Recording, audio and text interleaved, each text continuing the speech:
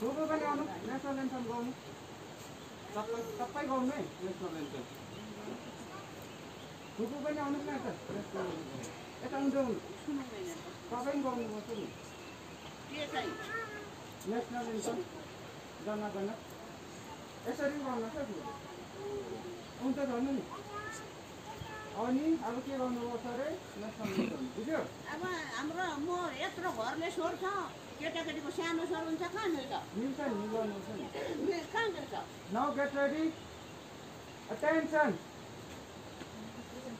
Now start our national anthem. One, two, three.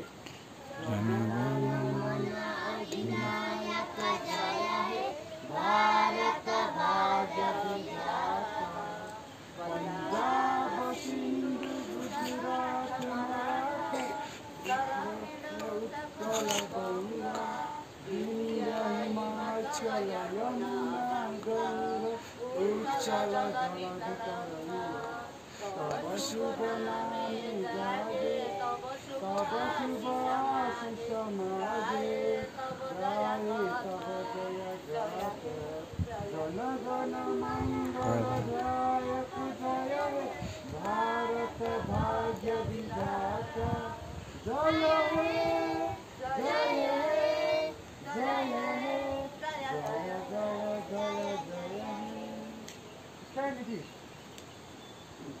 अब हामी के गर्छौँ? स्लोगनहरू गाउँछौँ जुन चाहिँ हाम्रो इन्डियाको हाम्रो भारतको एकदमै फेमस थियो।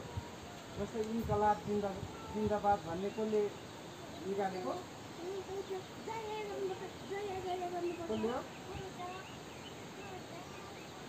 इन्डियाको पहिला freedom freedom फाइटरले। If I am not wrong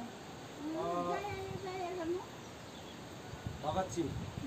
Bhagat सिंहले जुन चाहिँ त्यो स्लोगन थियो उहाँले सुरु गर्नुभएको इन्कलाब जिन्दाबाद भन्ने। अनि जुन चाहिँ जय हिन्द भन्ने छ जय हिन्द भन्ने चाहिँ सुभाष चन्द्र बोस। ऊ पनि फ्रिडम फ्रिडम फाइटर थियो। उसले सुरु गर्नुभएको। उसले हरेक मिटिङको लास्टमा चाहिँ उसले जय हिन्द भनेर चाहिँ मिटिङ समाप्त गर्थ्यो र अहिले पनि त्यो प्रथा चलेर आएको छ। अनि अर्को छ वन्दे मातरम।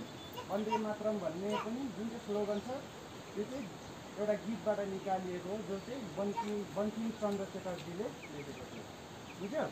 त्यो स्लोगन भन्छ होला देखिन्छ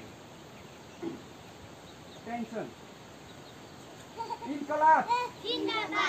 इन्कलाब। वन्दे। वन्दे। अलिक स्वर मजाले। वन्दे। भारत माता की। भारत माता की। इन्कलाब। इन्कलाब भारत माता की। भारत माता की। वन्दे ट्रेनिटी अब यति नै ओके अब के गर्छ मिठो खान्छ ठिकै